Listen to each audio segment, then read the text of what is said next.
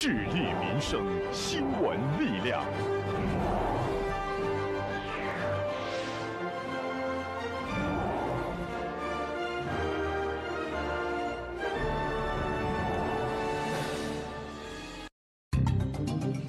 十一大促今晚开启，网购火爆，实体店也不甘落后。记者实地走访，看看谁的实惠更多。留心促销规则，规避消费套路，还需注意点啥？一万多元定制家具，延期俩月仍迟迟不到。因为我着急那个入住啊，完你给我退款吧。他说退款行，但得就是大约一个月的时间。我说行，我也等着。说好退款，又是一波三折，钱还没到账。店铺已停业，消费者又该如何维权？轿车路上自燃，有人拎来灭火器，有人拉来一车水，爱心救援太给力。餐馆暖气突然爆裂，热心顾客自发帮忙，老板一个举动被赞讲究人儿。双向奔赴有多暖？都市朋友圈马上刷。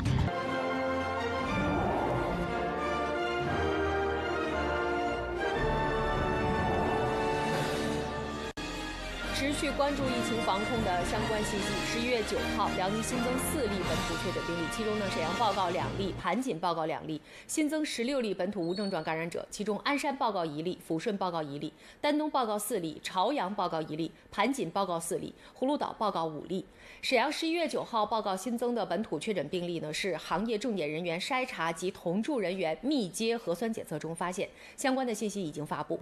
今天呢，沈阳部分区域开展核酸检测工作，我们记者。也来到了其中的一个核酸采样点，网格员加物业、微信加大喇叭，固定采样点加流动点位，让核酸检测快捷又有序。为进一步加强疫情监控、疫情排查，保障社区安全以及居民的健康安全，从十一月九号一直到十一月十一号。呃，沈阳市和平区将开展连续三天的全民核酸检测。现在我所在的位置就是沈阳市和平区长白街道幸福里社区所属的小区之内。呃在我旁边呢，就有一个核酸检测点位。呃，刚才我们也注意到啊，一直是陆陆续续有人来到核酸点位进行核酸检测。这两天核酸检测都都做没？做了，天天做。啊，感觉排队时间长不？人多不？不长。现在做核酸人挺少的，到了就能做。钱是不是最起码的，还得去外边什么的，然后现在在这园区就能做，多方便。而且没有聚集，可能感觉也安全一点。肯定是这样啊，是越来越完善，越来越好了，不错。现在弄。我们接到了和平区防止的核酸检测通知，是从呃十一月九号到十一月十一号连续三天的全民核酸。然后我们立即嗯做了宣传发动，呃利用微信群呐，呃然后网格员宣传，呃各园区的山长、五员专班，还有楼长、单元长广播。然后来进行那个宣传发动，呃，让全员核酸呢，呃，不漏一人，应检尽检。配合全民核酸检测，有三个比较重要的问题需要大家去注意。首先，第一件事儿呢，就是如何确保做核酸时人群不聚集；第二个就是有一些下楼做核酸相对比较困难的人群，到底如何完成核酸检测；第三就是能否保障每一个人都知道核酸检测，然后做到每一个人应检必检。为此呢，和平区的很多社区也做出了相应的针对性的措施与努力。设置了两个常态化核酸点位和三个流动点位，嗯，这样的话可以给使大家分流，即使在嗯早早晚的高峰期呢，大家也不会那个排队很长时间。不方便核酸检测就是不方便下楼的这些人群呢，可以在社区预约。我们辖区呢，像这种不方便下楼核酸呢，大约有不到二十户居民，嗯，然后这这两天呢，我们已经安排了上门核酸检测，这两天已经全部检测完毕了。接着我们来关注其他城市的防疫信息。十一月九号，鞍山在域外返回人员例行核酸检测中发现一例无症状感染者，居住在海城市，已经闭环转运至定点医院隔离医学观察。啊，主要活动场所包括耿庄镇北耿村委会核酸采样点、耿庄镇大集、耿庄镇新兴批发部、耿庄镇国际能源加油站。和以上活动场所相关的人员呢，请立即报备。鞍山市疫情防控指挥部发布通告，从十一月十号零点起，解除鞍山市铁西区部分区域的静态管理，铁西区全域转为常态化管理。今天起呢，鞍山各条公交线路有序全面恢复运营。朝阳疾控中心呢发布疫情通告，十一月九号，朝阳市龙城区在行业重点人员返岗前核酸筛查中发现一例核酸异常人员。朝阳市防止按照科学精准防控的要求进行了紧急的处置，相关密接和次密接人员已经落实隔离管理措施。疫情仍然没有结束，所以希望大家守好自己的安全，这也是守护大家的安全，守护城市的安全。眼看着明天就是双十一了啊！不光线上促销发力，这线下实体店也推出了各种各样的线下促销活动，嗯，和线上打起擂台来了。这个促销活动到底多给力呢？可能在很多人的印象里，双十一是属于电商购物的狂欢节，把想买的东西先加进购物车，在活动当天拿着手机蹲点下单，好像已经成为了一种常规的操作。那与往年相比，今年双十一最大的不同是，沈阳有很多实体店铺也加入到了双十一的促销活动当中，也发起了各种各样的优惠活动，吸引消费者到店购买。不太去用那个东西，完了然后也不太知道是什么满减呐这个东西，所以还是觉得线下比较呃靠谱点儿。现在线上双十一的规则呢也是越来越复杂，抢优惠券、凑满减、预售等等各种各样的促销规则，也是让消费者十分头疼。而跟线上促销相比，线下促销活动不仅能看得到商品，而且随买随取货，不必再掐着时间来付定金、付尾款和眼巴巴的等着发货了。那我们注意线下来看呢，更多的是以体验场景，就是说我们有些顾客去买一些商品的时候呢，到我们店里面，他更能身临其境地去体验到每一个商品的功能。啊，因为我们更多体现的是人服务人，让商品能够说话，让商品有温度，就是用增加我们的体验感。看到实物，是买的心里放心。通过即时零售的方式，满足本地消费者又快又省钱的需求，那也让部分的消费者更倾向于在线下实体店来购买。那我们现在就来到了沈阳某实体店，看到哈，今天虽然不是周末，但是还是有很多的消费者在商场里选购心仪的商品。那我身后的收银台呀，也排起了队伍。然后很多消费者跟我说呀，与其花时间去研究线上的规则，不如直接来线下购买，更加简单和直接。每天的客流，这周间的话大概在三千到五千人左右。我们双休日到节假日，有我估计是双休一，今天今天是星期四。如果说呃这个双休的话，我估计会突破两万人。从销售来看，我们周间大概在五百万五百万左右上下，我们可能在大的节点可能会突破上千万单日。啊，因为那个线下应该摸得着、看得到，所以说更真实一些。线上线下现在同价，有可能它线下会出现一些那个优惠券，限时消费会更便宜一些，所以说就来买了点东西。不有那个大众消费券吗？正好咱们本地也有消费券。对对对对。嗯，那您对比过价格吗？线上线下呃价格有差别吗？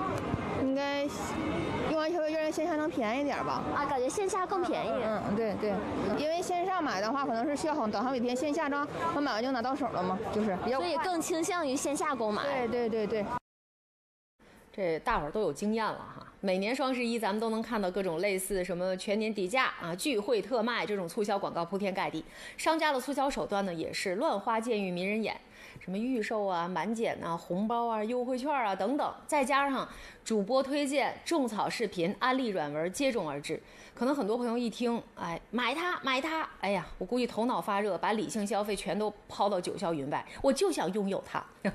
其实越到这个时候，大伙儿越要保持清醒。理性购买啊，不要跟风。接下来这份双十一消费提示，请您一定来查收。在双十一网络集中促销活动来临之际呢，为了更好的保护消费者合法权益，十一月九日，辽宁省市场监督管理局发布了双十一消费提示。其中，辽宁省市场监督管理局提醒消费者们要弄清规则，理性消费。在商家以打折、优惠券、满减红包等方式促销时呢，消费者应该仔细的阅读商家的促销活动规则，注意优惠券的使用、红包的使用限制条件等等。同时，注意对比该商品平时的销售价格，真甄别低价是真实惠还是设套路，避免落入价格陷阱。平时我觉得他那双十一活动也挺麻烦，我也不怎不咋弄这些东西。就是线上的。对对对，就是麻烦在哪？您觉得？就是那活动都挺乱的，然后还得每天集集这个积分啥的，然后还得挑花挺多时间去整，然后也捡的不是很多钱，就捡一点儿。就得不偿失。就是之前买个扫扫地机器人嘛，然后就是双十一参加完活动整挺麻烦，然后过了双十一之后发现他那个还还便宜下去了，比我那个当时买的还便宜。那建议各位消费者在网络购物的同时呢，将促销活动的规则、商品展示图片与商家的聊天记录以及商品订单页面等资料截图保存，作为消费维权的证据。如果发生消费争议，可以与平台或者是商家协商解决。如果协商不成，可以拨打一二三幺五投诉举报电话，或者是登录全国一二三幺五平台进行投诉。遭遇网络诈骗时呢，应该立即向公安机关报案。那以前买一件两件就能打折，现在都得买八件九件，就是就是比较得买多吧，应该是吧？就是线上虽然便宜，但门槛比较高。对对对对。同时，辽宁省市场监督管理局还提醒大家要防范风险，安全购物，建议消费者选择相关证照齐全、交易规则完善、经营规模较大、信誉良好、售后有保障的商家。呃，通过短信呀、网页弹窗弹出来的这个购买链接呢，大家就不要去购买东西了。其实这个双十一有一些东西价格还是比较优惠的啊，比如说我身边有一些网购达人，平时他都了解这个东西多少钱，哎，一看双十一搞活动确实便宜，我赶紧下单。所以咱们一定要按需购买，量力而为。你不要一听低价爆款啊，拍一呃就是赠多，马上就迷惑了。咱们得擦亮眼睛，仔细比价。如果这个东西确实是你需要的，也确实便宜了，那下单啊。如果不是刚需啊，咱可别头脑一热情绪消费，也尽量别囤太多。我同事两年前买的那个纸巾到现在还没用完呢啊。理性消费，用不上的东西再便宜，它也是一种浪费，对吧？接着问大伙儿一个问题嗯，小孩子之间打打闹闹，不管是在幼儿园还是在小学，我相信可能很多家长可能都碰到过。如果自个儿家的孩子被别人给打伤了，你会如何处理呢？最近江苏南京有一起孩子打闹引发的事件，成为了全国热点。这个事件呢，发酵于一段视频，咱们先来看一下。能看到啊，这居民家里的监控拍到的视频，一个小男孩。啊，一个在站在那儿啊，你看一名男子在对这个小男孩要说什么，突然间一个巴掌就把这孩子扇在地上。看到孙子被打，一旁的爷爷急了，抡起凳子就向这个男子砸去，但是却被男子顺势推倒在地。双方究竟有多大矛盾才会闹到这个地步呢？南京警方随后发布了一个通报啊，视频当中打人男子鲁某某是某医院社会聘用制人员。当天上午呢，他的儿子在幼儿园和同班的男孩争抢玩具的时候，被对方戳破了头皮。鲁某某呢到对方家里边讨要说法。这个期间呢，他情绪比较激动，哈，右手啊打了这个男孩的脸啊，结果这孩子仰面倒地。男孩的祖父啊，先后拿着塑料凳，还有这个木凳和这个鲁某某发生了肢体的冲突，结果呢被鲁某某推倒了，导致腿部骨折。目前呢，鲁某某因为涉嫌故意伤害被公安机关依法刑事拘留，这个案件还在进一步审理当中。本是两个，你看五岁的男孩之间的这个矛盾，但是却因为家长的不冷静，升级成了一个刑事案件。这件事儿也引发了广泛的热议。有网友说：“说孩子在学校、在幼儿园做错事儿了，你不能因为他只是一个孩子一言以蔽之。但是家长以暴制暴，这肯定不是解决问题的途径。尤其是你看，前一秒你还在教训人家啊，说你不能打人，打人不对；下一秒你就把这五岁孩子扇倒在地，这实在不是一个成年人应该做的。”还有网友说了，说孩子在学校挨欺负了，爹妈肯定心疼啊，对吧？谁打自个儿孩子谁乐意呀？这心情可以理解。作为家长，可以和对方监护人来进行交涉，甚至是走法律程序，但是不能冲动啊！最后有理就变没理了，不仅没为孩子讨到说法，还让自个儿付出了被拘留的代价，那这也给孩子的成长蒙上了阴影，是吧？那今天这个互动时间，咱们也探讨一下啊，大伙儿对这件事情的看法。呃，你的观点是什么？你遇到过类似的情况吗？你都是怎么来解决的？如果孩子被挨打了啊，挨欺负了，做家长的怎么做是最适合的、最合理的啊？互动时间，来说说你的经验。入冬温度下降，患有心脏方面疾病要留意。那从现阶段的这个心梗的发病年龄来看，呃，逐渐呈年轻化的趋势。哪些症状需及时就医？医生做提醒。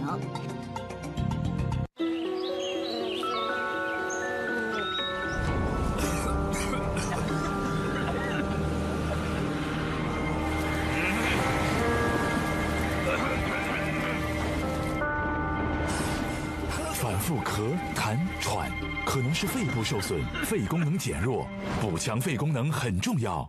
养无极牌补肺丸，六百多年的方子，甄选道地中药，蜂蜜古法秘制，补肺益气，止咳平喘，补强肺功能。经常咳，补补肺吧。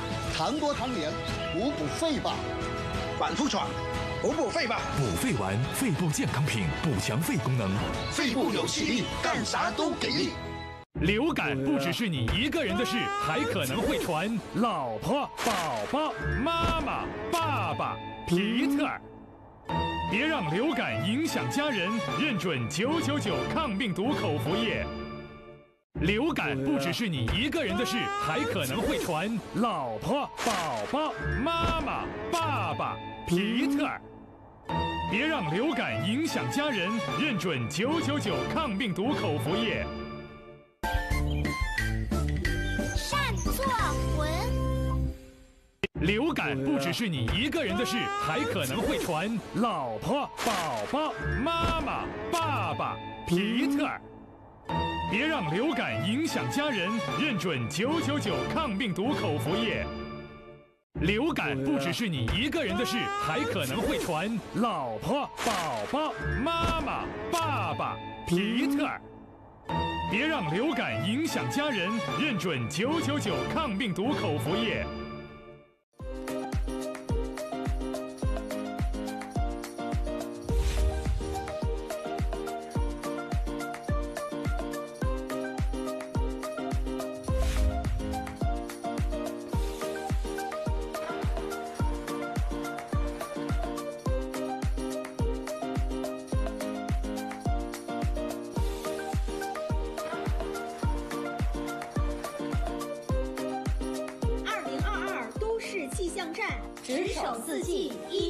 冷暖。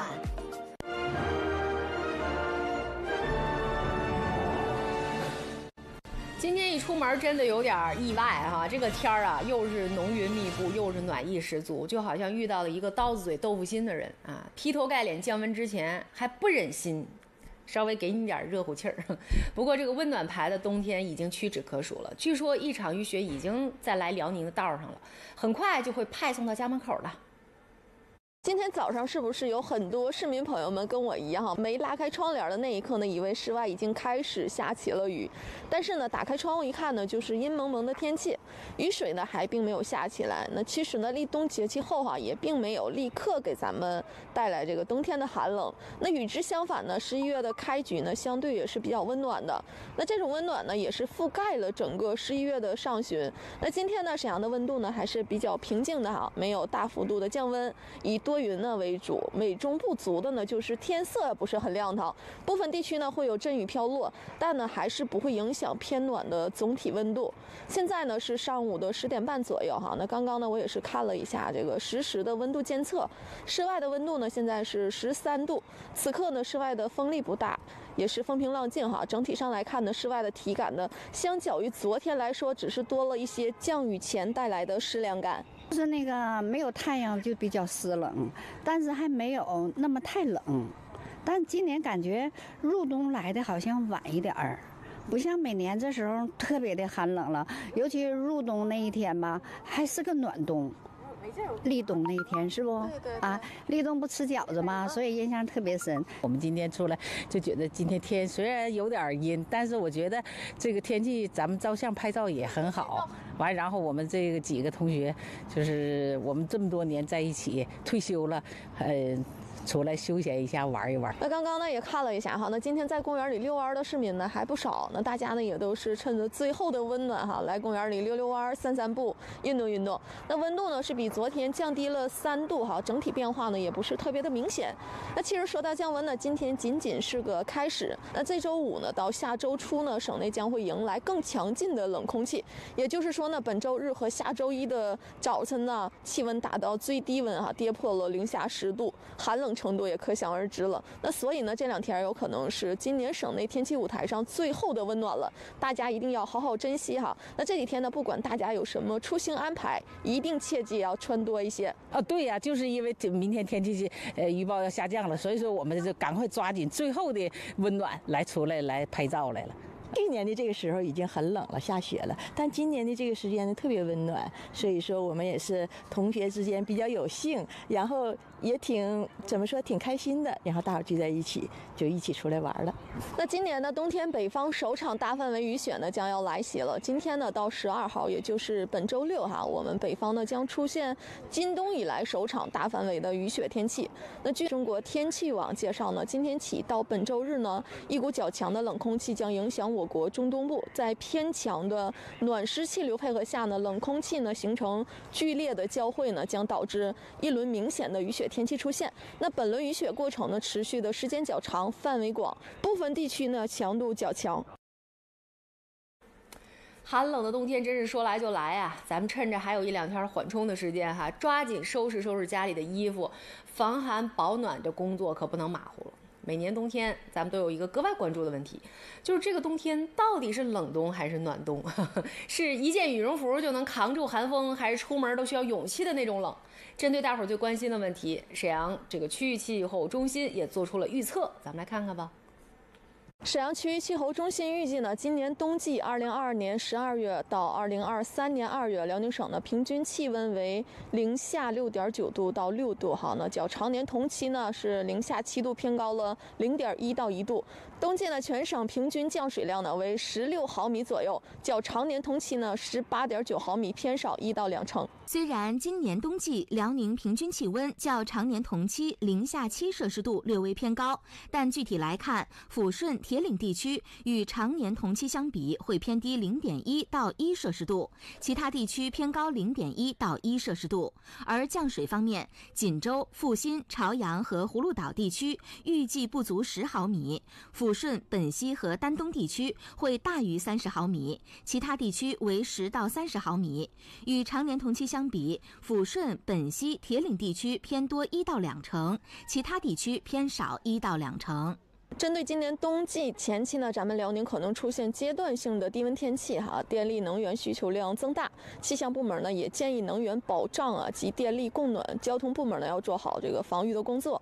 而针对今年冬季后期呢，辽宁可能出现强降雪的过程，气象部门呢也建议防范期对能源保障和交通运输部门呢以及设施农业生产呢带来的不利影响。为此呢，气象部门也表示哈，他们将密切的监视气候的系统变化。加强呢分析研究和会商的力度，及时提供滚动正定的气候预测结果。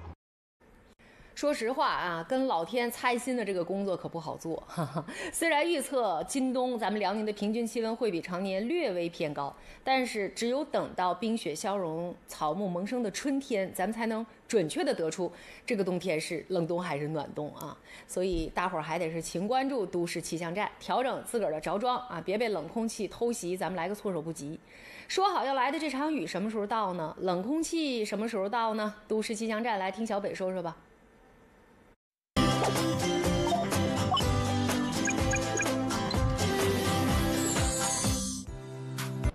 晚上好，欢迎来到都市气象站，我是小北。今年自从入冬之后啊，暖气团就格外的活跃。但是在东北的冬天里，冷空气是一定要展现出它的实力的。所以一场雨雪、大风、降温的天气呢，也即将给大伙儿安排上了。其实到了现在的这个时段，咱们沈阳虽然说是没有下雨啊，大家可以跟着我们的摄像机镜头来看一下。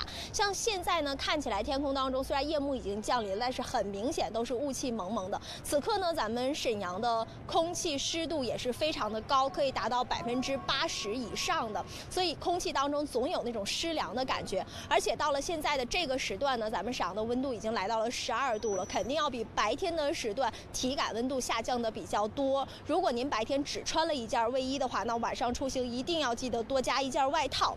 今天白天呢是温度不低，大家的外套确实都有点穿不住了，而且呢又重新的感受到了秋季的舒适。也是由于空气湿度比较大，气温高，再加上没啥风，基本是处在一个静稳的状态。今天不少的地区都是雾气缭绕的。早间本溪飘起了小雨，雨量不大，但是呢体感也不凉，有一些烟雨江南的意思。但是雨后呢湿气散不开，也是生出了一些水汽，看起来就雾气蒙蒙的。一场雨雪天气也是即将上演了。今天夜间到明天白天，咱们省内只有大连和丹东这两个城市是多云，其他的城市呢都将会出现阵雨或者是小雨。其实雨量不大，而且分散性是比较强的。这只是这场雨雪天气的一个小分队啊。明天白天呢，咱们省内的气温还会有所升高，全省的最高气温会达到十三度到十八度之间。像早间的最低气温呢，基本上也是可以达到五度到十三度的，确实是比较暖和。所以建议明天如果出门不太早的话呢，外套千万不要选择的太厚，肯定会中午前后有一些热的。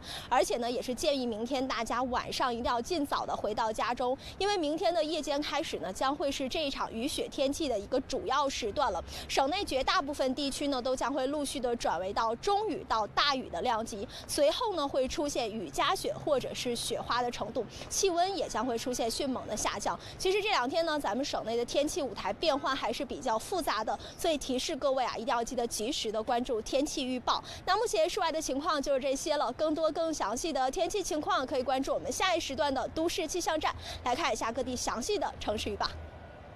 北部名医无刀秒除甲状腺结节、囊肿，零二四二五幺六幺六幺六。老慢支、老肺病、老咳喘，年年治，年年犯，燕都心肺同时调，慢病快治不手软。零二四二二七六七六七六。方大长白一品学府现房，独领和平湾。沈阳阵雨九到十五度，大连阴转多云十三到十六度，鞍山阵雨十一到十五度，抚顺多云转阵雨七到十四度，本溪多云转阵雨十到十五度，丹东多云九到十六度，锦州阴转阵雨十到十四度，营口阵雨转多云十一到十五度。阜新多云转小雨五到十四度，辽阳多云转阵雨十一到十六度，铁岭小雨八到十五度，朝阳多云转小雨五到十八度，盘锦阵雨十到十四度，葫芦岛阴转小雨十到十五度。颈肩腰腿骨关节疼痛，就用薛礼成医用冷敷膏贴。面瘫、面肌痉挛，病在肌肉，根在神经，修复神经是康复关键。北部医院专利从根治，零二四三幺五幺七五八八。天儿一冷啊，心脑血管疾病患者就要格外注意了。不过，你以为我是温馨提示的是咱们电视机前的咱爸、咱妈、爷爷奶奶、长辈们吗？其实不是。各位年纪轻轻的小伙伴，咱们也得上点心，因为心脑血管疾病在逐渐的年轻化啊。怎么守护好你的小心脏呢？咱们来听听专家怎么说。呃，每到这个季节呢，就是心血管疾病的高发季节。寒冷本身会刺激人什么？多进食高脂类的食物啊，喜欢吃肉。另外一个呢，我们北方人喜欢吃鸡菜啊、酸菜呀，他都愿意去吃啊。这样的话呢，高盐、高脂这类高热量的食物的摄取就会增加。呃，体育锻炼之后减少呢，就会导致久坐加重啊、血脂增加呀等等等等这些不利因素。天气逐渐转凉，一些基础性疾病以及心源性疾病就会找上门来。在众多疾病当中，心肌梗塞也就是心梗，一直是一种发病非常凶险的突发性疾病。绝大多数猝死案例的原因都是心源性疾病造成的。王主任告诉记者，对于心梗的预防和送医就诊必须积极，而且现在心梗的发病人群大有年轻化的趋势。他们接诊过的心梗患者最年轻的只有二十八岁。那从现阶段的这个心梗的发病年龄来看，呃，逐渐呈年轻化的趋势。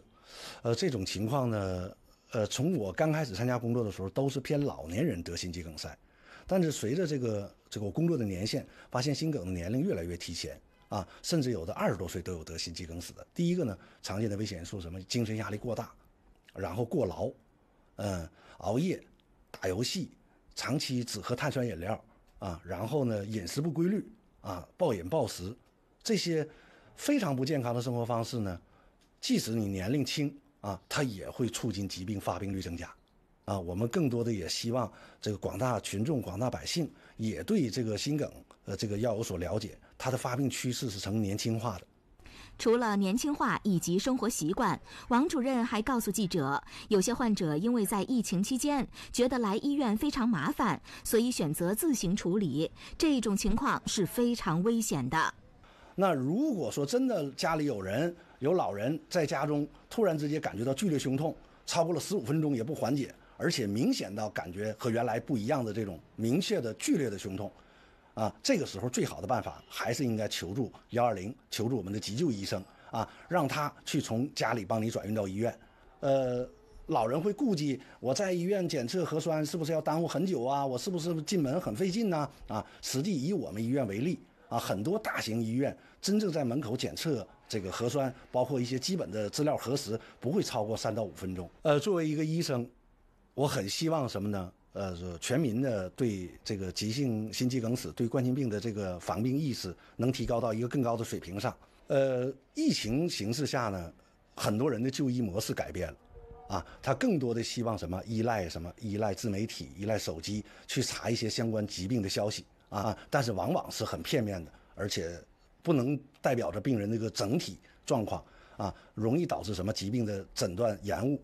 啊，甚至耽误最佳治疗时机，啊，所以说什么呢？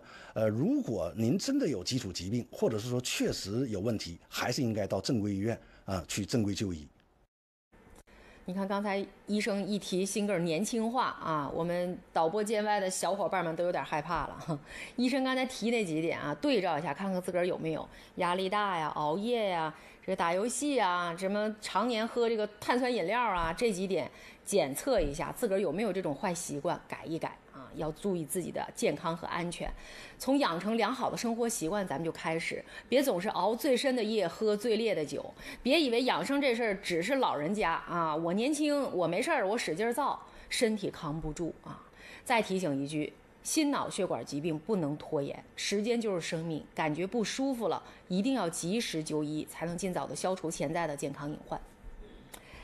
有一些矛盾啊，其实隐患是可以消除的。嗯，比如说今天你看咱们前面提的这个新闻啊，现在大家都在热议的，这个本来是孩子之间幼儿园发生点小矛盾啊，但是结果变成家长之间的这个刑事案件了啊。这个事情你怎么看？你有没有遇到过类似的这个事情？该怎么来解决？晴晴留言，他说这个男子上门打翻幼儿的这个视频啊，我今天看了好几遍，我觉得应该是。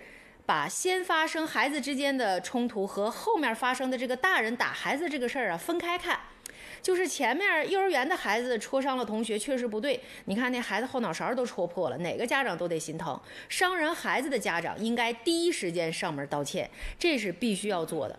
但是很遗憾，我们没有看到这一幕，却看到了被打孩子的家长上门讨说法。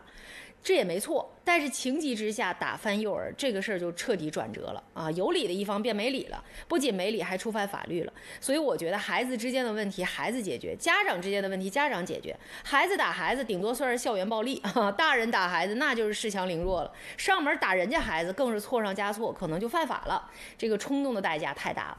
我觉得他说的是有道理啊。这个事情往前头捋啊，最开始应该做的是就是。打人家孩子的这个家长是不是应该主动先有样一个态度去道歉，然后可能后面这一系列问题都不会发生了。但是呢，这个视频呃出现以后，很多朋友也在探讨，就是说我们面对矛盾的时候，该用一个什么样理智的态度去解决？有的时候解决比解气更重要，对吧？呃，你怎么看？也期待更多朋友来说一说，你有没有遇到过类似的情况呀？都是怎么解决的？一万多元定制家具，延期俩月仍迟迟不到。我说我着急那个入住啊，完你给我退款吧。他说退款行，但得就是大约一个月的时间。我说行，我也等着。说好退款，又是一波三折，钱还没到账，店铺已停业，消费者又该如何维权？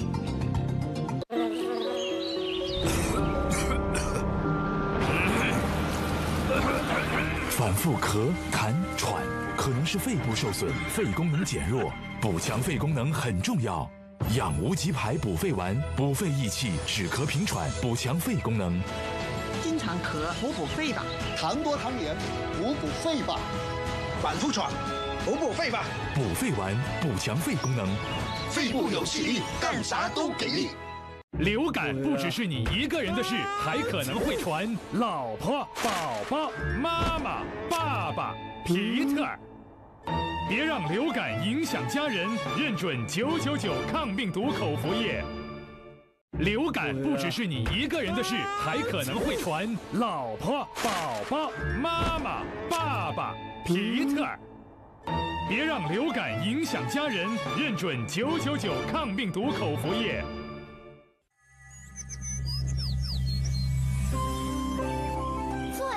讲良心，诚信走天下。程立身。流感不只是你一个人的事，还可能会传老婆、宝宝、妈妈、爸爸、皮特。别让流感影响家人，认准九九九抗病毒口服液。流感不只是你一个人的事，还可能会传老婆、宝宝、妈妈、爸爸、皮特。别让流感影响家人，认准九九九抗病毒口服液。腰椎间盘出了问题，痛啊！用舒筋健腰丸，专药专治腰椎间盘突出引发的腰疼、腿疼、腰膝酸痛。舒筋健腰丸，广州白云山陈李记。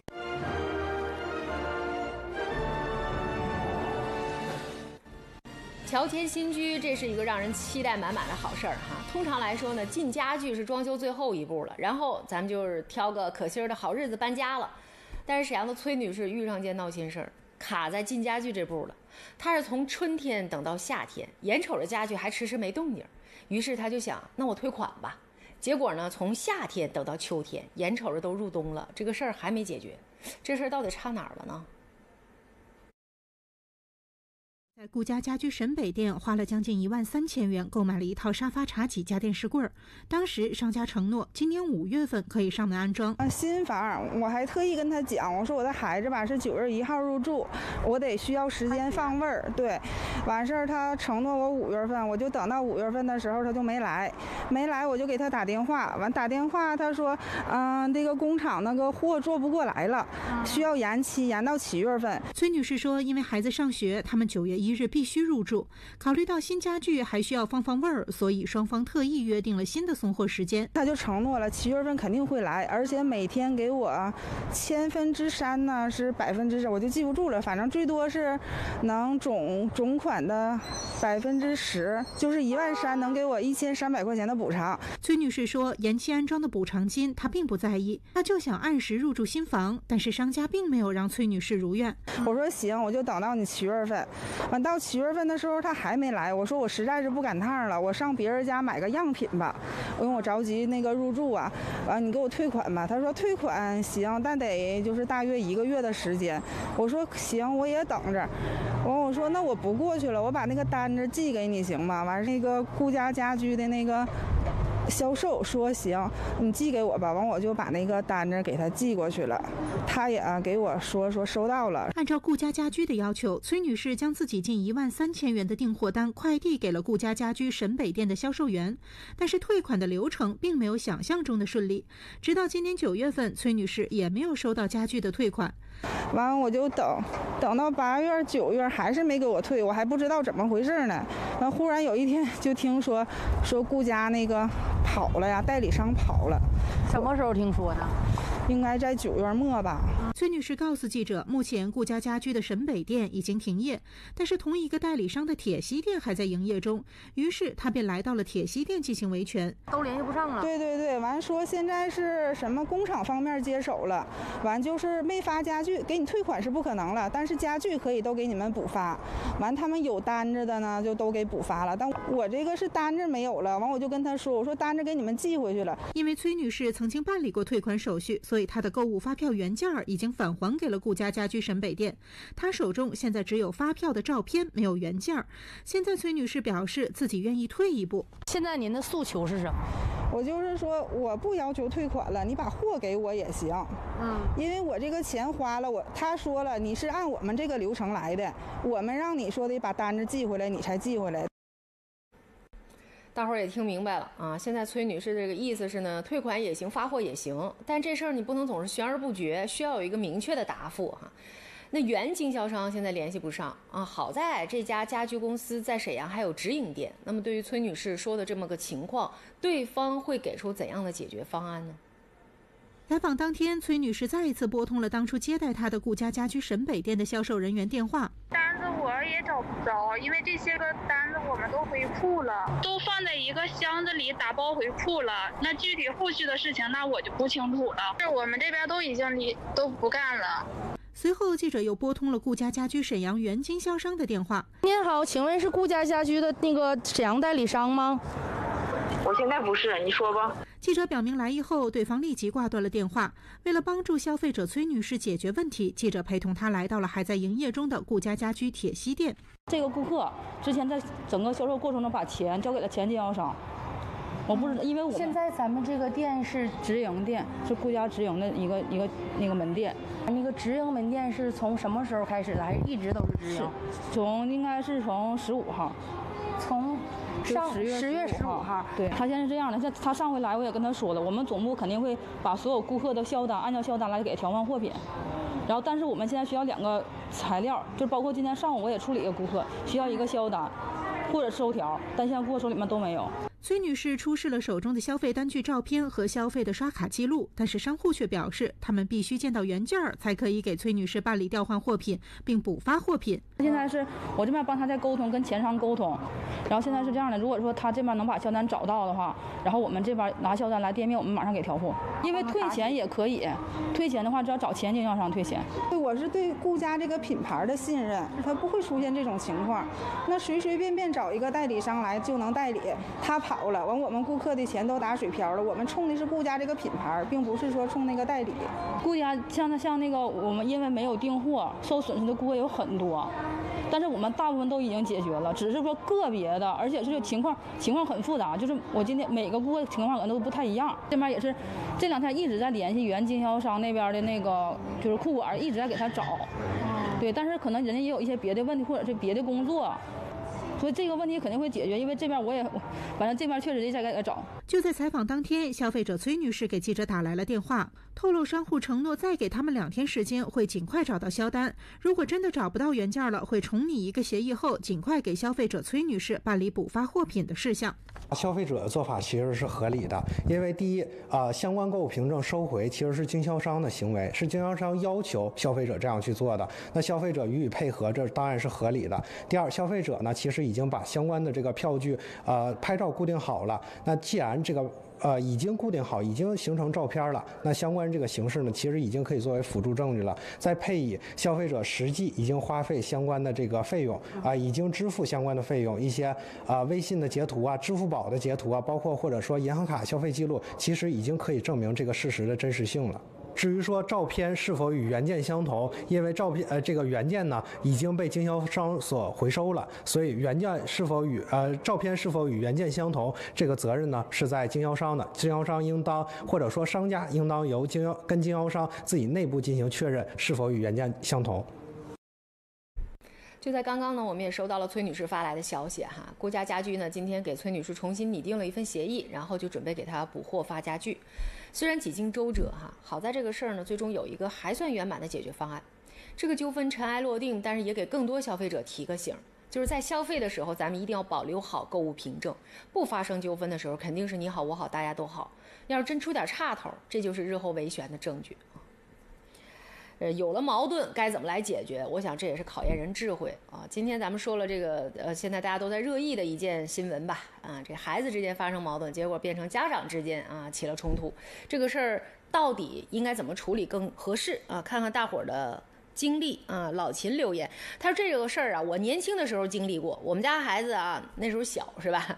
孩子和同学撕巴起来了，他个头大，把对方给打伤了，胳膊扭了。老师给我打电话，我和我媳妇儿第一时间赶到学校，给老师跟老师了解情况。放学又带着孩子上门道歉，我还不等人家家长说啥呢，我先给我儿子两脚，我给他踹趴下了，然后我给我儿子一顿骂啊。我们两口子给人家孩子又拿医药费，哎，结果。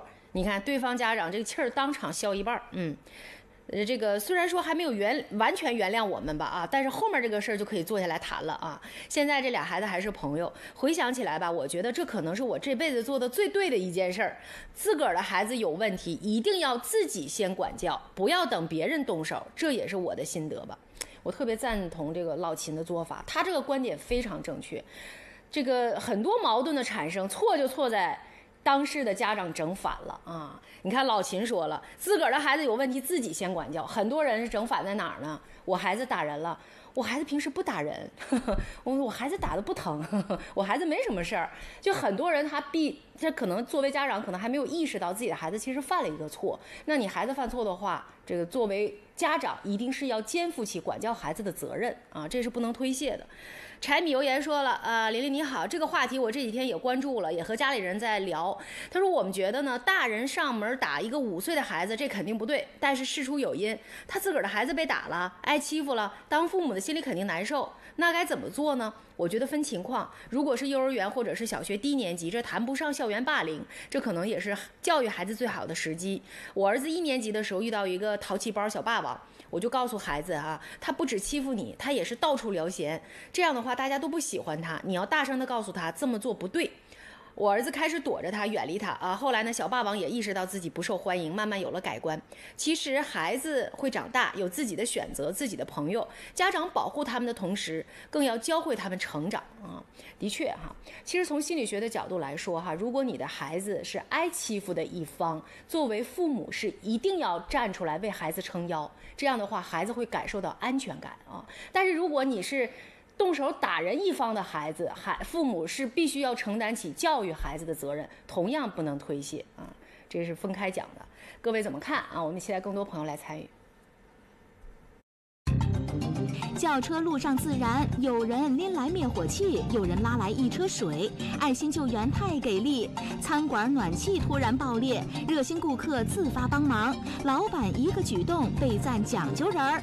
双向奔赴有多暖？都市朋友圈马上刷。小伙爱抠鼻子，突然流血不止。反复挖鼻子有很多坏处，那比如说有鼻毛脱落啊，阻碍了这个这个这个纤毛毯的一个屏障。再有呢，就是反复挖鼻子可以造成鼻前灵炎，还增加了鼻炎、鼻窦炎的这个可能性。挖鼻孔有啥危害？秋冬季缓解干燥不适有方法。流感不只是你一个人的事，还可能会传老婆、宝宝、妈妈、爸爸、皮特。别让流感影响家人，认准九九九抗病毒口服液。流感不只是你一个人的事，还可能会传老婆、宝宝、妈妈、爸爸、皮特。别让流感影响家人，认准九九九抗病毒口服液。节俭传下去，中国万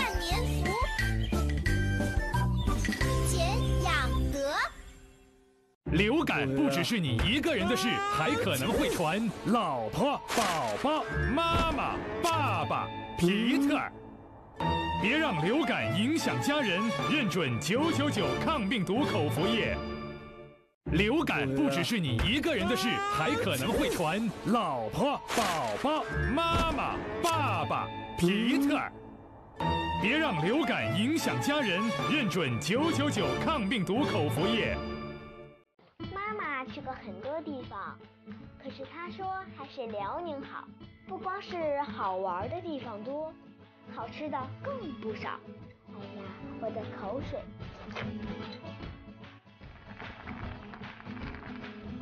走在这红墙里，空气中都透露着历史的味道。街上的车水马龙，晚上的灯火璀璨，时刻提醒你。一天三顿小烧烤的魅力，可别小瞧了烧烤，在锦州那可是非物质文化遗产。妈妈说，辽宁新鲜好玩的事儿很多，我想赶紧长大，去发现，去体验。每一位来辽宁的人，其实在和我们一起发现。新北方由三沟多良乡特约播映。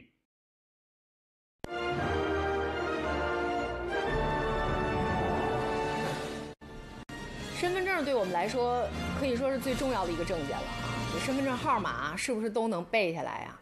倒背如流啊，张口就得来。但是前不久呢，沈阳市公安局大东分局的民警在对惠民社区进行日常巡逻走访的时候，在辖区里的一家物流企业发现了一个陌生的面孔。对方不光丢了身份证，还记不清自个儿身份证号码。面对民警的询问，这名男子自称姓顾，从老家出来打工三十多年了。当初携带的一代身份证早就丢失了，自己也记不住身份证号了。为了查清该男子的身份，民警将其带回派出所进行进一步调查。了解沟通过程当中呢，他是本人自述呢，他已经九三年搁家出来，因为年轻时候，呃，跟家里夫妻，然后出来打工，就一直在内蒙、吉林那边打工。后来他身份证丢了，手机也丢了，最开始是不想不想回家，现在呢这几年呢岁数年龄越来越大呢，他想回家，但是现在回不去了。顾先生称，他在外这么多年，其实一直都牵挂着家人，只是没有颜面回家。这几年，他也曾试着找过家人，但后来听说家中老房子已经拆迁，自己也始终没有联系上家里人。我是想妈了，还有兄弟姐姐都。都想他们，就联系不上，不好意思了。这挣没没挣钱，你咋回去啊？一直拖拖拖现在了。民警在跟顾先生沟通时发现，他为人老实本分，且不善于表达。虽然回家的念头在他心里萦绕了很久，但几乎不与别人倾诉，也没有主动寻求过公安机关的帮助。这次通过与两位民警的交谈，才让他下定了决心去寻找家人。根据他提供的地址。我们跟那那个山东省呃济南市市中区那魏庄派出所的那个民警取得联系，以最快的速度找到他的家人。他母亲八岁还健在，我就呃跟他弟弟通的电话，加他弟弟微信。在十月二十六号当天下午三点多钟的时候，我就返回物流。然后我把他本人叫到身边，我让他与他弟弟那个视频见见了个面。然后他当时没有认出来他弟弟，但他弟弟认出来他了。谢谢谢谢谢谢谢谢哥。呃公安机关帮你找找，谢谢谢谢哥了，谢谢公安机关。家里一直在找，我这一年一直在找，呃，给他做 DNA，呃，报的失踪，呃，做了母亲那个 DNA，给他是怕他是没了，不在世了或者嘛的，没想到这么多年把我哥找到了，我确实激动，确实激动。虽然顾先生联系到了家人，但是民警的帮扶并没有结束。由于顾先生的一代身份证已经丢失，按照规定，在没有一代身份证的情况下，如果办理二代身份证，必须回到原籍办理。而顾先生没有身份证，又没法乘坐火车回家。警方表示，接下来他们会与相关部门进行沟通，寻找解决方案。我们下一步后续呢还要开展工作，呃，帮助他呢去完成他的心愿。与他失散三十多年的母亲啊弟弟见面，然后我们那边呢也也在联系那个积极努力联系铁路部门和那个救助救助部门，争取让他早日回家与家人团聚。真要感谢咱们民警的细心哈！过去的三十年，对顾先生和家人来说都是不轻松的日子。顾先生在外面风餐露宿，打工赚钱，但是牵挂着家里的老妈妈，而家人呢，一次次的报案寻找比对 DNA。无法想象他们经历了多少次失望，可能每一个阖家团聚的春节都是他们内心隐痛的时候。如今伤痛终于有了弥补的机会啊，他终于可以回家了，回到亲人身边团聚。其实不管什么样的矛盾啊，家都不是一个讲理的地方。但凡妈妈来喊你吃饭，那都是中国式的隐晦的道歉啊。这个事儿咱翻篇儿了，过日子指定有磕磕绊绊的时候，但是别动不动就离家出走。自个儿的家人哪有什么隔夜仇呢？不管什么时候，要相信，家人永远是我们最坚强的后盾。遇上轿车自燃的危急时刻呀，周围路过的车辆和行人也成了司机最温暖的后盾呐。是朋友圈刷新每一天，都说大火无情，人有情。前天发生在四川成都的一次意外火灾，就印证了这句话。一辆轿车在路上突然自燃，烟大火急，容易出大事儿啊！危急时刻，不少人都来帮忙了。没有灭火器，有人送；没有水，有人给。附近的大罐车司机拉着水袋就过来灭火了。各种陌生路人开启了暖心救援模式，最终。帮大忙，火灭了，安全了，这波救援太给力了，正能量足足的。突发意外，自己个儿在场肯定是发懵。要是大伙儿给帮忙，情况就不一样了。上面的车辆自然是大伙儿帮的忙，下面的暖气爆裂，大伙儿也出手了。同样是陌生人，前几天黑龙江黑河一家饭店暖气突然爆开，滚烫的热水瞬间喷出，这是要变水帘洞啊！屋里的顾客正吃饭呢，吓一跳。可下一秒，大伙儿不是躲事儿走人，而是一起上用东西堵住热水的，拿工具维修暖气的，总之就是各种帮忙，最终解决了问题。说到这儿，表扬必须有，可还有下文。你仗义，我也不能差事儿。饭店老板决定全场免单，谢谢大伙儿，这是妥妥的双向奔赴啊！陌生人之间的真情实意，太感动了。啥也别说了，大伙儿举杯走一个吧，都是讲究人。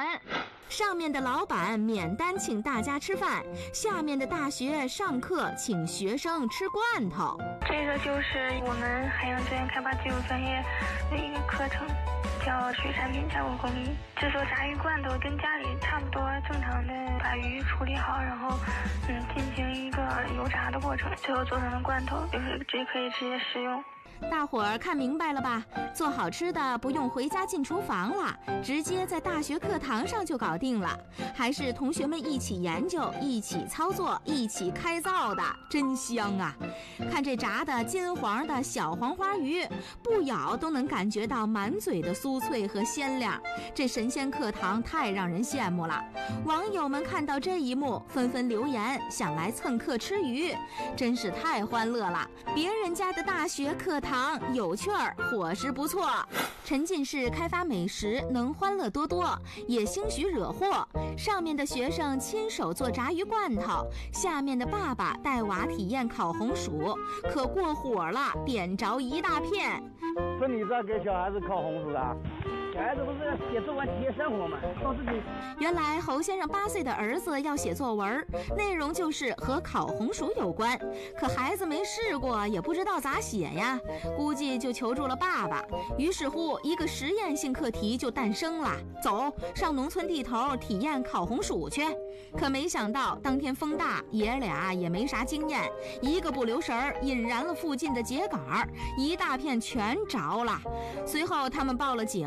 当地村民和消防也赶来帮忙，最终才控制住了火情，闹剧才算收场。这个事儿让小编咋说呢？体验生活、积累作文素材是好事儿，可惹出大祸就是你的不对了。毕竟是安全第一，带孩子体验生活要安全又快乐。浙江金华的一家人就做得特别好。现在这个季节可以说是一年中最色彩斑斓的时候，户外。外各种树叶纷纷飘落，红色、黄色、绿色混合交织在一起，把喜欢做手工的孩子们高兴坏了。那家长们必须得配合呀！树叶大赏走起，家住金华的七岁女孩就和全家人一起来了个 DIY 周末。先是捡树叶，然后再花费半天时间，用树叶给七岁女儿做了一件绝美的孔雀衣，老有成就感了。Happy Hour 成功。今天的都市朋友圈就是这些。如果您遇到感人事儿、有趣事儿、生气事儿、难忘事儿，只要够精彩，赶紧将图片、视频联系方式发到新北方都市朋友圈邮箱，稿酬丰厚，欢迎投稿。都市朋友圈刷新每一天，咱明天接着唠。孩子和孩子之间发生矛盾了，作为大人该怎么来处理啊？今天咱们说了这么一个大家都在关注的新闻事件啊，引发了一个话题的讨论。其实看似是孩子之间的矛盾，反映的却是我们成年人处理问题的一种智慧和方法啊。看看大家的经验。小月说了，小孩子打架很正常，不管谁受伤了，吃了多大的亏，都要理性对待。轻者咱们可以通过老师调解，重者走法律程序维权。如果以暴制暴，那么你就先成了违法者。本来有理了，结果没理了，犯法了啊，这样就得不偿失了。平时也要告诉孩子，我们不主动攻击别人，同时也要注意保护好自己，不要被别人侵害。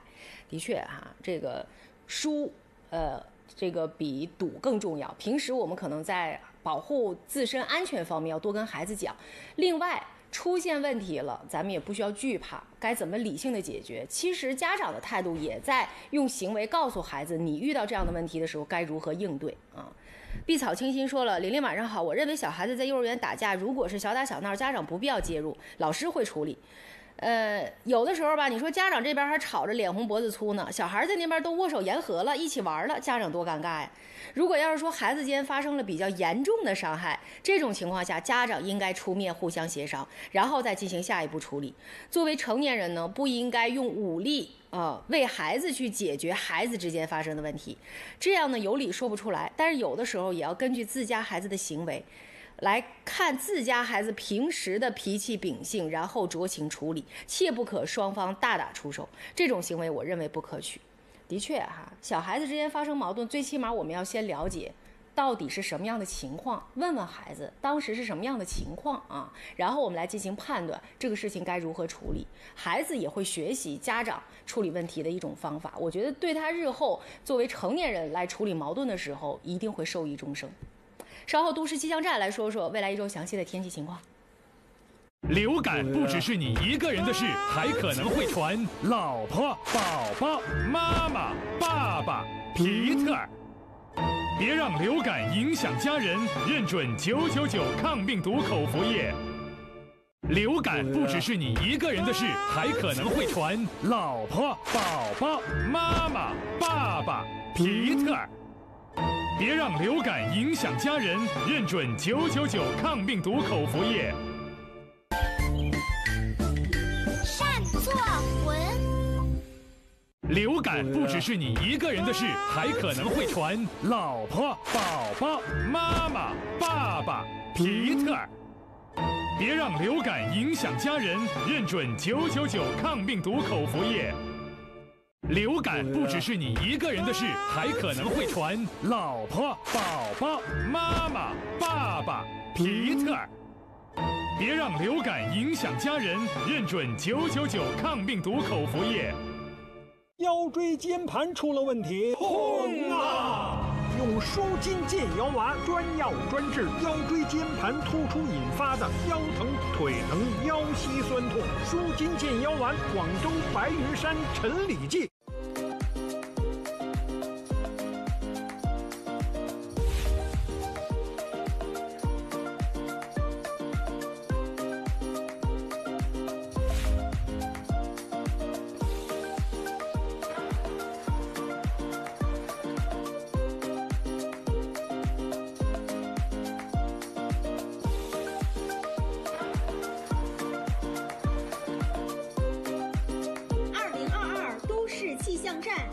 值守四季，一知冷暖。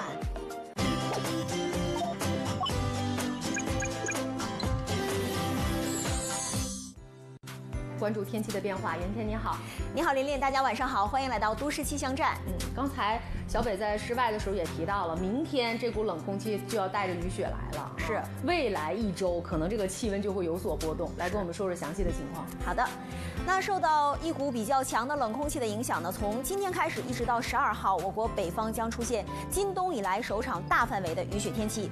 那么雨雪天气将波及二十余个省区和市。那么像华北以及东北等多地呢是有中雨的，局地会有大雨出现，部分地区还会飘雪。像长春啊、哈尔滨等地啊，或将迎今冬的首场降雪。那么从昨天夜间开始，其实辽宁就已经陆陆续续的已经出现降水了，只是呢雨量都不太大。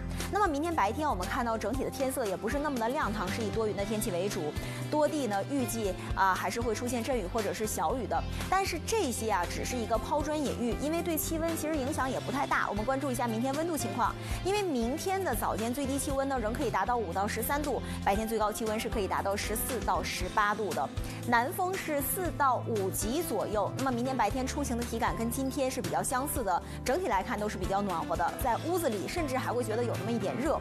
不过呢，冷空气不会一直如此的懈怠，因为在明天晚晚间，冷空气要开始发威了，连着雨雪还有大风降温，一个都没有落下。我们关注一下，呃，有关这一次雨雪天气以及降温天气的最新的消息吧。那么，首先呢，明天晚间各地的降雨量会开始增大，入夜之后呢，省内大部分城市会达到中雨或者是大雨量级。然后在十二号的早晨前后，会自西向东的，然后出现雨转雪这样的天气过程。那么降雪的主要时段是十二号的早晨到十二号的前半夜。预计呢，像铁岭、抚顺以及本溪，还有阜新、朝阳，包括像康平和法库，是大雨转雨夹雪转小雪到中雪，局部地区可能会有大雪出现。那么像大连市区以及旅顺、金浦新区、长海，还有丹东市区和东港，预计呢，呃是有中雨的，其他地区是中雨到大雨转雨夹雪。全省大部分地区呢会出现道路湿滑或结冰，像抚顺呐、本溪呀、阜新、铁岭、朝阳地区以及康平、法库局地会出现积雪。那么降雪伴随而来的还有什么呢？就是大幅的降温。我们关注一下未来一周的详细的天气情况吧。那么预计呢，在十一号的早晨到十三号，各地气温会下降十到十二度，其中呢，像中北部地区局地可以降温幅度达到十四到十八度。十二号的最高气温，我们看到其实还是可以达到四到十一度。左右的，但是目前来看呢，偏北风是五到六级，辽西降温是最为明显的。那么到了十三号这一天，这个断崖式的降温就出现了，全省的降水是结束了，但是我们看到气温是剧烈的下降，最高气温普遍就只有五度上下，而早间最低气温会跌至零到零下六度，北风是五级上下。十三号和十四号这两天的早晨温度是最低的，像沈阳、抚顺以及本溪、阜新、铁岭、朝阳，最低气温呢是零下八到零下十二度，东西。部山区最低气温是零下十二到零下十六度，而其他地区呢是零下二到零下八度。那么随着这一场寒潮天气的出现呢，我们逐渐就向深冬过渡了，这衣服也是越穿越厚。所以别看未来一周这个气温是有回升的一个状态出现，可是冷空气呢已经完全占据主动权了，所以大家呢要注意防寒和保暖。好了，这一时段都市气象站就是这些，来看一下各地详细的天气信息。靶向介入妙除耳鸣、耳聋、声带小结、声带息肉、鼻炎、鼻息肉，微创无痛，认准燕都零二四二二八二幺九幺二。北部治三叉神经痛，签约有保障，零二四三幺五幺七五八八。便秘不麻烦家人，加自用器能自己使用，新型开塞露圣精华邦。沈阳阵雨九到十五度，大连阴转多云十三到十六度。鞍山阵雨十一到十五度，抚顺多云转阵雨七到十四度，本溪多云转阵雨十到十五度，丹东多云九到十六度，锦州阴转阵雨十到十四度，营口阵雨转多云十一到十五度，阜新多云转小雨五到十四度，辽阳多云转阵雨十一到十六度。铁岭小雨八到十五度，朝阳多云转小雨五到十八度，盘锦阵雨十到十四度，葫芦岛阴转小雨十到十五度。甲状腺结节、囊肿，观察怕恶变，移除怕开刀。北京超声介入名医周末会诊，给你完美答案。零二四二五幺六幺六幺六。您的担心我擅长，泰福养老让夕阳更红。幺三五九幺八三幺九零二。抠鼻子这个动作再平常不过了吧？啊，谁都做过。然而，就是生活中这个简单的动作，搞不好就要被推进手术室。下面咱们要说一个二十五岁的小伙儿，平时就有抠鼻子这个习惯，没想到进医院了，看看咋回事吧。据多家媒体报道，浙江杭州的李先生今年二十五岁，他有一个喜欢抠鼻孔的坏习惯。他的鼻孔经过长年累月的伤害后，这几年每到天气干燥的秋冬季节，左侧鼻孔就会毫无理由的流血。近日，李先生又流鼻血，这次却怎么也止不住了。到医院检查发现，李先生的左侧鼻腔已经形成了血管瘤，想要止住鼻血，只能动手术。血管瘤的形成呢，它还是跟一个血管网络的这个呃反复的刺激啊增生有关啊增生有关。我们鼻腔有一个非常容易出血的区域呢，叫利特尔区，它在我们鼻中隔。这个前面啊，前面很多时候挖鼻子，如果从这个角度挖鼻子，可能就会挖到这个区域啊，反复的刺激，血管丛增生，可能就会形成一个血管瘤。于寒冰医生说，鼻子其实是人体的一道天然的保护屏障，可以阻挡一些空气当中的细菌和有害物进入人体。如果爱抠鼻孔的话，就会损伤鼻子的天然屏障。反复挖鼻子有很多坏处，那比如说有鼻毛脱落啊，阻碍了这个那个你。那个纤毛毯的一个屏障，再有呢，就是反复挖鼻子可以造成鼻前庭炎，还增加了鼻炎、鼻窦炎的这个可能性。于寒冰医生说，鼻前庭炎其实本身并不算非常严重的疾病，要命之处在于其转变比较快。比较重的感染，如果不经过及时的治疗，可能会引起海绵窦血栓静脉炎及周围蜂窝组织炎。而由于鼻部处于面部的危险三角区内，若炎症控制不好，有可能侵入颅内，从而危及生命。于寒冰医生提醒大伙儿，如果鼻子里有异物，正确的做法是这样做：如果是觉得鼻腔干燥哈，总有那种干净的鼻夹哈，咱们可以用生理性海盐水进行喷鼻子，喷完鼻子之后呢，轻轻的去醒出来啊，这样呢是比较科学的方式。大伙儿可得注意，鼻子不舒服尽量别上手抠。眼下是秋冬交换的季节，天气干燥，流鼻血也时有发生。记者调查发现，不少人都会这样做。周围没有什么措施的话，就拿个手指弄成团儿，然后先止一下血。这边呢抬这手，这边呢抬这手，完了就能好点吧。举手、读指团儿，流鼻血后，很多人都会选择这样做。这种办法真的有效果吗？举手啊，哪边出血我就举手，举手之后就止血了，没有科学依据。首先说一下纸团填塞止血，它呢可能会破坏鼻黏膜啊，造成这个出血，呃更多。再有呢就是它纸团有可能会有少量的碎屑残留在鼻腔里面，造成感染。于寒冰医生说，仰头止血的办法也不可行，鼻血回流到咽喉，当出血量较大时，还容易吸入气管，堵塞气道，危及生命。当流鼻血时，正确的做法是这样做。如果在家的时候出现鼻出血，比如说咱们右侧鼻出血，我们可以用食指，可以这样去压住鼻腔，头稍低的姿势，这样呢压五到十分钟，多数的时候鼻出血是可以止住的啊。如果是反复几次止血不成功，咱们需要去医院就医。这个有喜欢抠鼻孔啊这样习惯的朋友，一定要提高警惕，抠鼻子是个坏习惯，千万要改。现在天气干燥，再加上已经供暖了啊，鼻子干燥、流鼻血的情况也会常有。这个屋里面咱们注意保湿，比如说放点水啊，或者用加湿器啊，鼻黏膜湿润了可能会好一些啊。你看，凡事都讲究科学的方法啊，管教孩子也一样，处理人与人之间的矛盾也是如此。今天我们说了这个新闻事件，就是孩子之间发生矛盾，大人该如何来处理？我发现今天参与这个话题的我们的很多观众啊，素质都很高，很理性啊，分析的也都非常清楚。很多方法做的也真的是非常到位。呃，旮旯留言啊，他说：“琳琳晚上好。如果我家孩子在学校被欺负，我第一时间要去了解孩子为什么打架。如果是我家孩子的错，我会找另一个孩子的家长当面和家长沟通，让我家孩子当面道歉。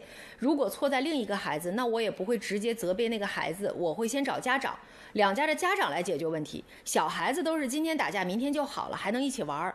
别因为孩子的事来影响两个家庭的生活。毕竟你说接送孩子低头不见抬头见，挺尴尬的，这也是我的想法啊。不知道大伙同不同意？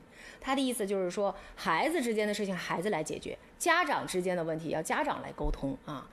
别弄拧了啊！是安宁啊，这位朋友留言，他说：“我觉得孩子在幼儿园互相打架不能算霸凌，当然了，家长必须管教。打人的鲁某某一家到人家家里去教训人家孩子啊，家长接待了，搬凳子让自个儿家小孩乖乖听训，可能是长辈管教无力啊，但是不应该是刻意护短，否则不会让对方进门的，根本也不会开门。那成年男人如果用这样的力道去打一个五岁的小孩，我看了真是接受不了。对。”呃，打人用大人打孩子，这指定是不对的啊！这个，但是他回到事情的这个最初，可能作为打孩子的这方家长，可能我们并没有看到他第一时间去鲁某某家啊，给孩子和对方的家庭来道歉。其实这也是引发后续矛盾的一个导火索。当然了，我们看到了，就是鲁某某啊，你说一个成年人直接这个打孩子啊，打对方的孩子，这个指定是不对的，呃。如果是自己的父母打自己的孩子，这叫管教，谁也无法忍受别的家长来打自己的孩子啊，这是两个意思，对吧？呃，关于这个话题哈，也期待更多朋友来参与哈。我发现今天参与的朋友可能都有话要说，大家生活中都会遇到这样的问题哈，我们每个人都可能面临，所以我们彼此来探讨一下，看看什么样的解决方式更适合。辽宁集中销毁一百六十吨侵权假冒伪劣商品，涉及口罩、烟酒、小家电多种商品，无害化处理，安全又环保。发现侵权假冒伪劣商品，如何投诉举报？稍后详细说。流感不只是你一个人的事，还可能会传老婆、宝宝、妈妈、爸爸、皮特。别让流感影响家人，认准九九九抗病毒口服液。流感不只是你一个人的事，还可能会传老婆、宝宝、妈妈、爸爸、皮特。别让流感影响家人，认准九九九抗病毒口服液。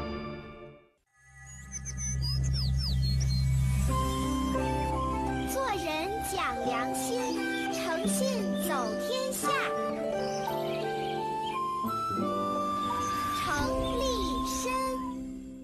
流感不只是你一个人的事，还可能会传老婆、宝宝、妈妈、爸爸、皮特。别让流感影响家人，认准九九九抗病毒口服液。流感不只是你一个人的事，还可能会传老婆、宝宝、妈妈、爸爸、皮特。别让流感影响家人，认准九九九抗病毒口服液。新北方由三沟多良乡特约播映。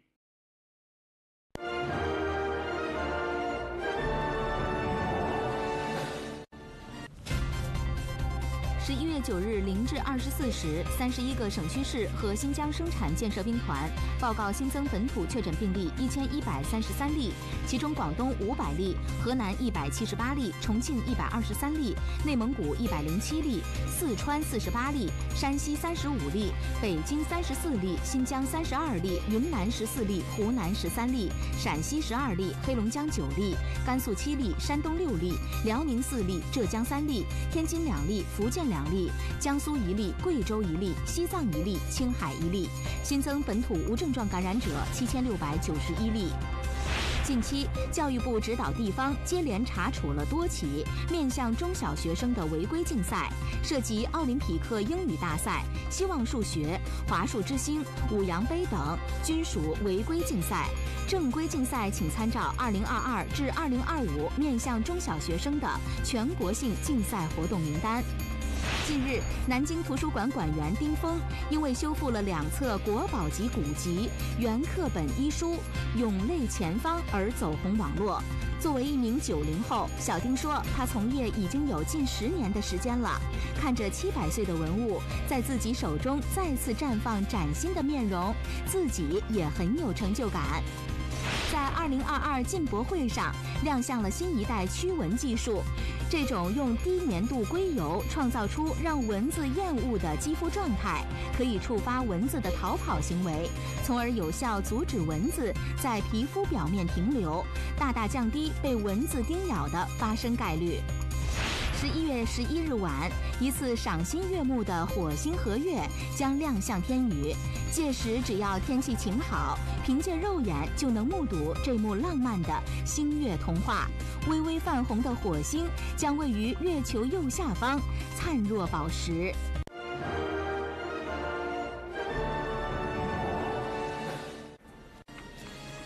有句话叫“假的真不了”。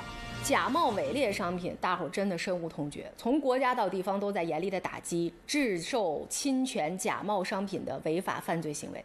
最近呢，我们辽宁集中销毁了一百六十吨侵权假冒伪劣商品。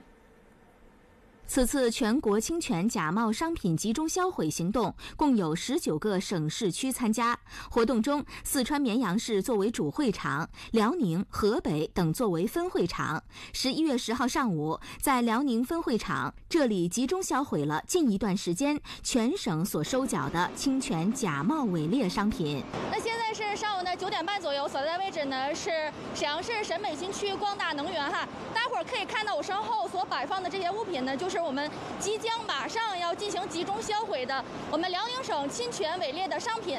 那在现场呢，我们了解到哈，此次所要销毁的这些商品呢，主要包含像口罩啊、走私烟呐、酒水呀、纺织用品呐，还有一些小家电等等多个品类。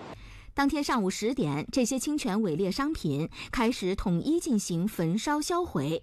记者了解到，所有销毁的假冒伪劣商品均采用无害化处理，在焚烧之后产生的热能供给热电厂进行发电，既安全又环保。按照国家统一部署，辽宁省和沈阳市打击侵犯知识产权和制售假冒伪劣商品工作领导小组办公室。联合承办了这次销毁行动，对我省多家执法机关收缴的口罩、走私烟、食品、酒类、纺织用品、防水建材、小家电、服饰等一百六十余吨侵权假冒物品进行销毁，货值两千余万元。刘生说，这次处理的侵权假冒伪劣商品，主要是通过市场监管部门、海关、生态环境部门等多方执法所缴。此次行动。进一步彰显了国家持续严厉打击侵犯知识产权和制售假冒伪劣商品违法犯罪行为的决心，为推动高质量发展保驾护航，为营造辽宁省市场化、法治化、国际化的营商环境贡献力量。欢迎消费者监督哈，如果在市面上发现有侵权假冒伪劣商品以及不合格产品的，可以拨打幺二三幺五来进行投诉。和其他商品不一样，消防产品它具有特殊性哈，主要在灭火、急救以及逃生等方面发挥着关键的作用。消防产品一旦出问题，那是要危及生命的。为了消除因为消防产品和消防设施带来的安全隐患，葫芦岛市最近呢开展了消防产品打假专项检查。在葫芦岛市某消防产品销售网点，消防人员正在对店内的消防应急灯具、灭火器、消火栓。消防水带和防火门等消防产品进行检查，并依据消防法、消防产品监督管理规定等法律法规要求，向网点负责人提供的进货渠道、生产厂家信息、消防产品准入资格等进行了重点检查。你这灭火器是从哪从哪进的？嗯，青岛娄山。这都是青岛娄山的啊？对对对。啊，你这一共有多少每回进的？每回进呢，我们进都是比较多，因为我们是属于辽西总代理。哦。这多大的？这是三公斤干粉灭火器。这保质期多长时间？保质期一般都是三年。随后，葫芦岛消防检查人员对另一家重点单位的消防产品和消防设施也进行了检查。这平时你培训吗？多少年培训？这个正高危消防站一个月一次，一个月一回是吧？正常的话是一年两回。我有微信小站一个一个月一回是吧？对。咱几个人微信小站？咱现在五个人。楼上几个出口？嗯，楼上两个出口，门都开着呢，都开着。那一楼咋那会儿咋还锁着呢？正门不是，现在疫情防控呢，这医院也是特殊情况。据了解，消防产品专项监督检查行动期间，葫芦岛市消防救援支队累计检查社会单位五十余家，处罚一点二万余元，有效打击了全市消防产品销售使用领域的质量问题。首先检查灭火器，然后拔开火眼栓，对准火焰根部啊，压拔灭火。观察这个指针是吧？对，压力试看是否正常。消防产品关系到人们的生命安全，当发生火灾时，消防器材发挥着巨大的作用。但是如果出现劣质产品，可能会造成严重的后果。那么如何识别消防产品真假呢？消防也教大家几招：一是核验身份。二是查看压力，三是核实日期。下一步呢？葫芦岛市消防救援支队将继续加大对消防产品质量的检查力度，严厉打击制假售假的行为，为净化消防产品市场环境来奠定坚实的基础。接着要说个好消息哈，辽展品质生活季皮草羊绒服饰名优美食购物节，十一月九号到十四号在辽宁工业展览馆要盛大举办。呃，各种款式的羊绒、驼绒、皮草齐聚辽展，质优价廉，产地直发的果蔬生鲜、干果熟食等等，还有，呃，寒冬这个秋冬的暖茶等着大伙儿来品尝。展会现场呢也有好礼相送，数量有限啊，欢迎到辽展来选购。今天咱们说了一个新闻啊，就是呃孩子之间发生这个矛盾哈，大人结果处理不当啊，你看这个打人的鲁某某还被刑拘了这个事件，我们也得到一个最新的消息啊，就是今天刚刚呃，看到网上有一段疑似鲁某某的家人登门道歉的视频发出。这个视频当中的一位女性啊，突然间下跪向被打孩子的家属请求原谅啊，对方也进行了搀扶，说：“阿姨您起来吧。”啊，所以你看，本来是孩子之间发生的一个矛盾，最后演变成大人之间的矛盾，一个被刑拘，还被全国这么多这个网友在关注啊，这个代价到底值不值得？但是其实从另一个角度来说呢，这也是给了我们一个思考的机会、反思的机会。遇到这样的问题该怎么来处理？呃，大春就说：“他说我儿子上小学的时候，有一个男同学和女同学打架，结果就演变成双方的父母打架，两个孩子家两个家长呢都被刑拘了。”本应该大事化小、小事化了的事儿，就因为冲动是魔鬼。我儿子在学校也和同学发生过冲突，但是孩子们都是第一天生气，第二天就好了。最后毕业的时候，他们还成了最好的朋友。现在他们长大了，全都是成年人了。呃，有的还来我家吃饭，说多亏你当年的大度，我们才成了一生的同窗，今世的好友。我儿子同样也养成了一种待人宽厚的性格，并不吃亏。有的时候吃亏也是一种福气，所以孩子之间有一个磕碰很正常。如果伤得很严重，那是另外一回事。事儿，嗯，我觉得这位家长的处理方式啊，真的引发了我们很多人的思考。首先，可能作为家长，第一时间知道自个儿的孩子挨欺负了、被打了，肯定特别生气。但是生气之余，你要考虑怎么处理，对孩子成长最有益。流感不只是你一个人的事，还可能会传老婆、宝宝、妈妈、爸爸、皮特。别让流感影响家人，认准九九九抗病毒口服液。流感不只是你一个人的事，还可能会传老婆、宝宝、妈妈、爸爸、皮特。别让流感影响家人，认准九九九抗病毒口服液。节俭传下去，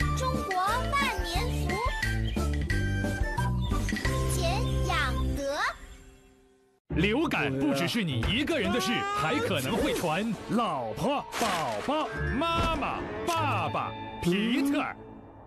别让流感影响家人，认准九九九抗病毒口服液。流感不只是你一个人的事，还可能会传老婆、宝宝、妈妈、爸爸、皮特。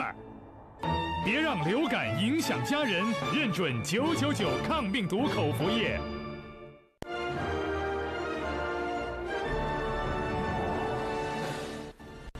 你多大鞋，我多大脚，这说的是玩笑话。可是没想到，真有人这心里没谱哈。前几天大连一位车主开着货车就卡在路上了，为啥呢？撞上限高杆了。十一月六号上午九点，位于大连市普兰店老店街附近发生了一起车祸，一辆厢式货车撞上了限高杆，导致交通受阻。大连消防救援人员赶到现场后，发现箱货已经撞碎，但是并没有完全脱落。于是救援人员立即用无齿锯对车厢连接部分进行切割，很快就取下了脱落的货箱。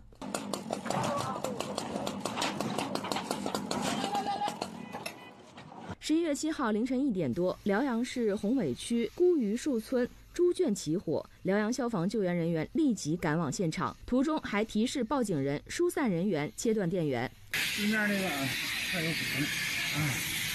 到达现场后，救援人员发现起火点位于猪圈南门的东侧内部，起火物质多为杂物，过火面积约十五平方米。这里有那有那有那有，你开支就搁下面了，下面的吧，下面有下面有缝，下面有缝。救援人员立即出动一支多功能水枪进入猪圈内部灭火，不到一个小时，现场的大火被完全扑灭。目前起火原因还在进一步调查当中。流感不只是你一个人的事，还可能会传老婆、宝宝、妈妈、爸爸、皮特。别让流感影响家人，认准九九九抗病毒口服液。流感不只是你一个人的事，还可能会传老婆、宝宝、妈妈、爸爸、皮特。别让流感影响家人，认准九九九抗病毒口服液。善作文。流感不只是你一个人的事，还可能会传老婆、宝宝、妈妈、爸爸、皮特。别让流感影响家人，认准九九九抗病毒口服液。流感不只是你一个人的事，还可能会传老婆、宝宝、妈妈、爸爸、皮特。别让流感影响家人，认准九九九抗病毒口服液。